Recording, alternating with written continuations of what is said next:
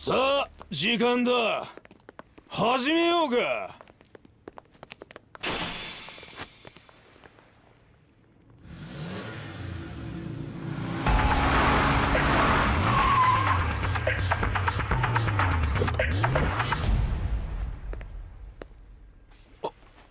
ああなたは？この喧嘩俺が引き受ける。四代目。それは昔の話だ。今は流すタクシーという会社で働くただの運転手だ。まさか四代目。登場会に協力するためにわざわざ。なんとお礼を言っていいのか。ああ協力しに来たぜ。ただしろくに極道の筋も知らないお前らガキが間違った道に進まないようにするためにな。な、なんですって？やっぱり来ましたか。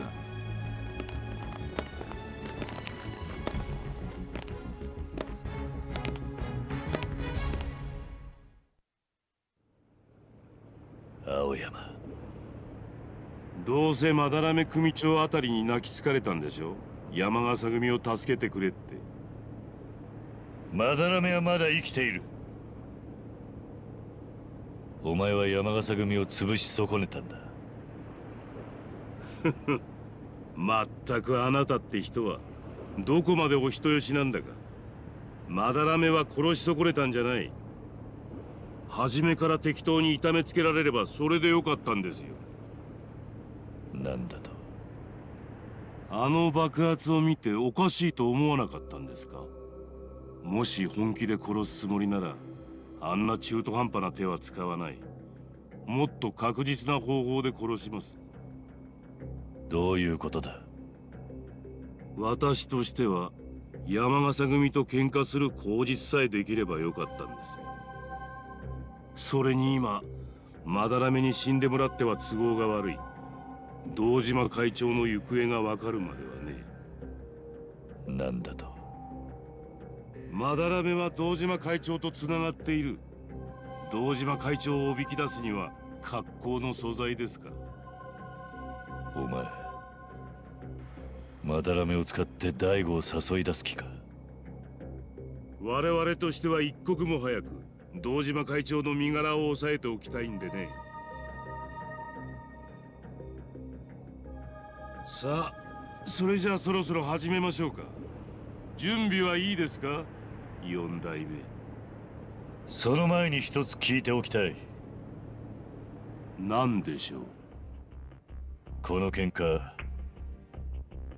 俺が一人でお前ら全てを始末したら組同士の戦争にはならねえよな。あ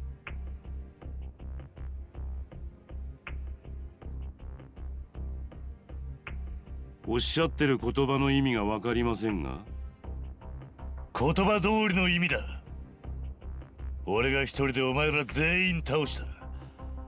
それは仇とヤクザのただの喧嘩。組同士の争いにはならない。そうだよな。ババカな何を言ってるんだ？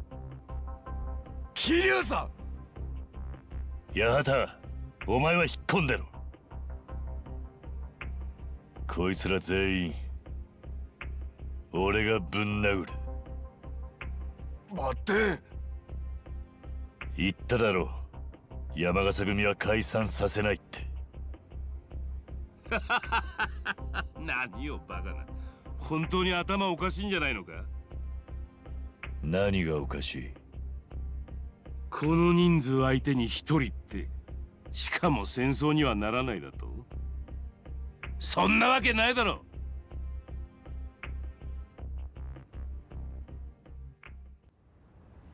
桐生さんね時代が違うんですよ。誰と誰が喧嘩したら戦争になるとかいう時代じゃないでしょこれだから古い人間は困る。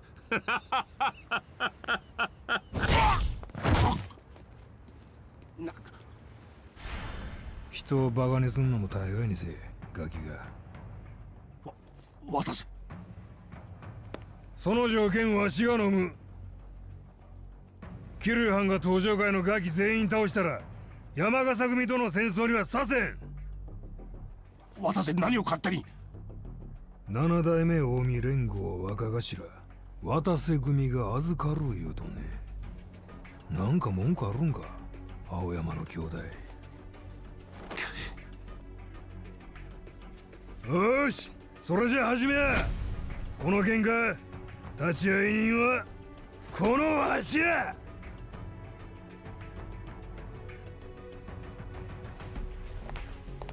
何をしてるお前ら。四代目だからといって手加減はいらない。行け。